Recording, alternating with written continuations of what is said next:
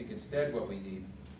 is the commitment to a, a multi-stakeholder engagement between all the different uh, uh, parties in, in the internet, private sector parties in the internet environment, and governments to, to develop uh, uh, rules of the road, to develop codes of conduct that, that create uh, a sense of stability, along with the kind of flexibility that we need to allow continued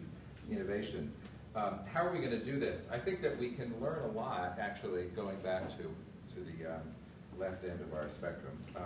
uh, uh, we can learn a lot from, from the environments that the early internet and web technical standards bodies created, because those bodies, in many ways, pioneered uh, uh, for the whole world, beyond just the internet, pioneered um, mechanisms for multi-stakeholder participation and multi-stakeholder decision-making, and probably most importantly, for, for multi-stakeholder organizations that had legitimacy, that had that, that, that earned the right by the way they functioned to be taken seriously and to be trusted by, by, by, by people around the world who depended on them. What are some of the, Scott has a better list of, of these, these, um, these, these characteristics than I do, but I'll tick off the ones that I think are important. First of all, these, these organizations obviously have to be open to all. Uh, uh, they have to be open to governments, they have to be open to individuals, they have to be open to commercial organizations, they have to be open to NGOs. Um, uh, their activities have to be transparent. You have to be able to see what's going on. You have to be able to, to participate uh, uh, at a distance. Uh, obviously, they have to function uh, across borders. They need some kind of, of, of reasoned and meritocratic decision-making process. You try to explain the decision making from the outside of, of, any of these of any of these organizations, and it's a little bit confusing and subject to a certain amount of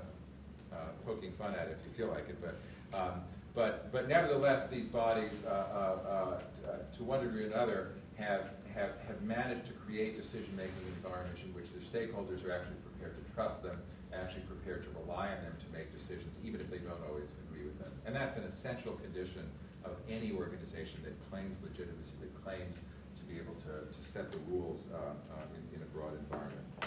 Um, and, and, I guess finally I'd say, uh, again, going back to the example of the, the Internet Engineering Task Force and to, to quote Dave Clark, you know, there, there, was a recognition that in these technical standards environments, you weren't always going to get it perfectly right uh, uh, the very first time, uh, um, and that, uh, that rough consensus in running code was, was really the decision-making uh, rule of the day. Um, this is in a lot of ways the trickiest problem that I'd say we face when we start to apply this model to um,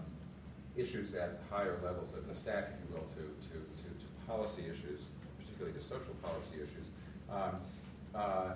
we have some regulators around the world who very, get very uncomfortable, for example, when a social networking service puts out a new feature or a search engine puts out a new feature and it ends up, and they say, well, that this feature is a beta, uh, uh, and and, and people look at it and say, well, that's, that feature's got a pretty privacy invasive quality to it. Um, um,